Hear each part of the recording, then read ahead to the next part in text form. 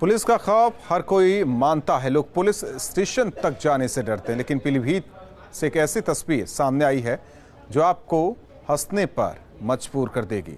सुनगढ़ी थाने में इंस्पेक्टर श्रीकांत द्विवेदी के सिर पर बंदर आकर अचानक बैठ गया।